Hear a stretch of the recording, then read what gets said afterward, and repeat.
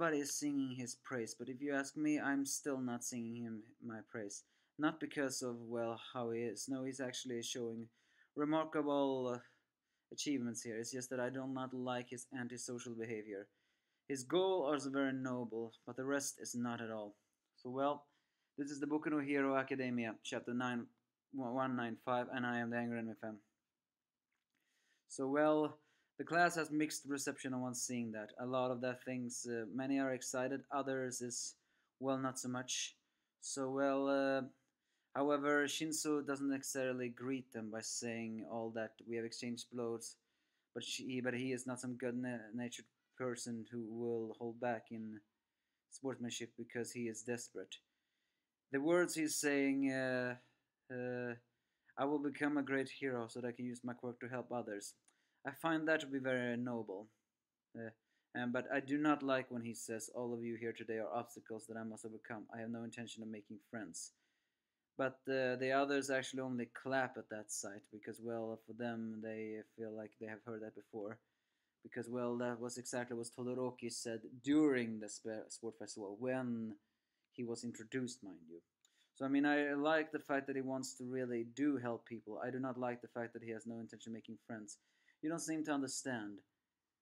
The business is saying that we they need to cooperate with people. That's the difference.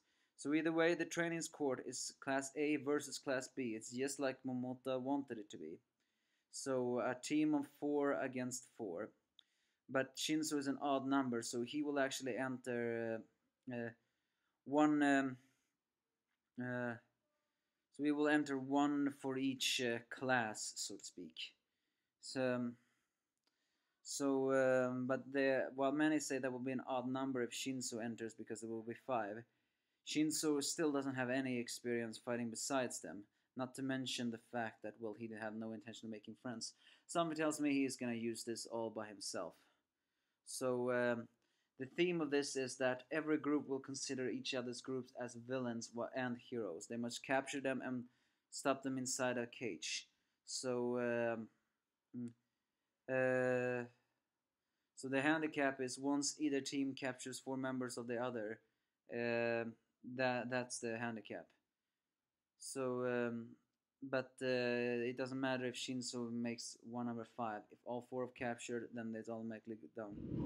So, well, uh, with that, um, uh, the team is uh, fast. Ibara, Ibara Shiozaki, Yurota Shishida, Hiryu Rin and Kosei Tsubasa versus uh, versus Suyo, Koda, Kaminari, and uh, uh, Kirishima.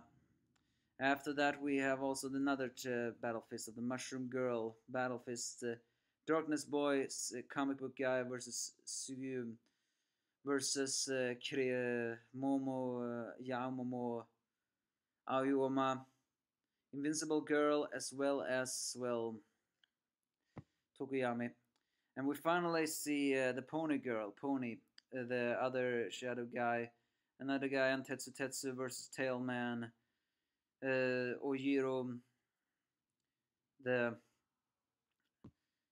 Shoji, Todoroki, and of course uh, Iida, who's doing a very strange uh, salute the buggy guy, the lizard girl, and another guy, and the melting guy versus uh, Sero, Bakugo, Jiro, and Sugar Man. And here is the real strange. It's Copycat Momota versus uh, no Momoto Yui, the Battle Fist guy, and uh, another guy don't versus uh, Urum versus Uchaku Deku, mm, Mineta, and uh, well Mina.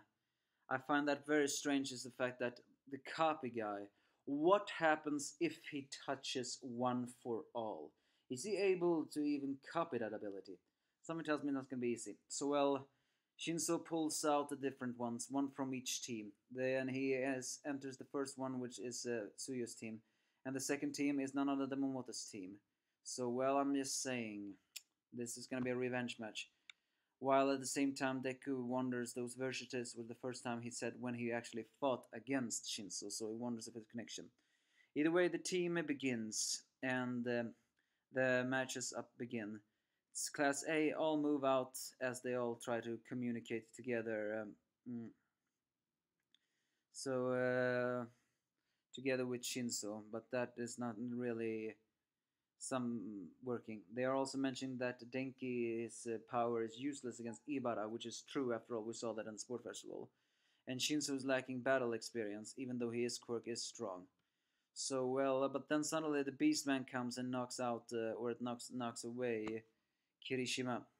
As we see for the first time his quirk, uh, and they all mentions that, uh, uh, that, mm, that they are doing differently. Yorota Shishida was his name, and his quirk is Beast, as we have heard before. Turns out that he can change into a beast. Doing that will increase his physical muscle strength, hearing, sense of smell, and vision. However, transforming, he gets extremely high. I guess that means he becomes a little bit of a berserker. So, well, uh, there's also many debates and wonders which class will eventually win. Class A has more experience than Class B, However, it's revealed that Class B has higher grades than Class A and also have honed their skills. So one wonders what happened.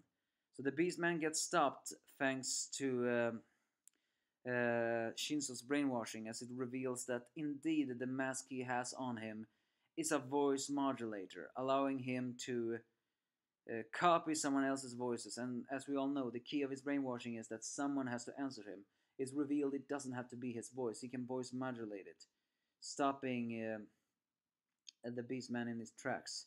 It's an artificial vocal cords, persona code. Brainwashing complete. So one wonders exactly how that will do. Also turns out that the wind, uh, the one blue air tunnel has developed his quirk well. It has some sweet action of it all, but again, I have mixed opinion on Shinso. I am not here to make friends. Granted, that makes sense. It's just that uh, I think he has to make friends if he actually wants to change. Right now he's currently like Todoroki as before. However, now he has brainwashed uh, the Beast guy. So I wonder, is it possible that uh, Shinso is gonna defeat all this team alone? I mean, he needs to work together with other people. Either way, all the different teams are very exciting. I'm looking forward to see that. I at least hope we can see at least one of each of the different quirks from Class B and the others. But the team which Shinso is teaming up with Class B's uh, Memento, the, the copycat guy, that have me extremely worried. It wouldn't surprise me if Deku loses that fight. But also, Ushako is once again on Deku's team. I mean, I'm not complaining about that, but it's uh, doing a pattern here that Ushako is always on Deku's team. I mean, there are some who's criticizing that she's becoming a satellite love interest, but and I guess this is not exactly doing it any favors, but you know what I mean. So yeah, will Shinso win this fight all alone? And if he does win, will he really be transferred? He needs to change his character. Other than that, he really wants to save people. So he is he's an antisocial guy, but he is not a Bakugo jerk. He really wants to save people. I guess that's something.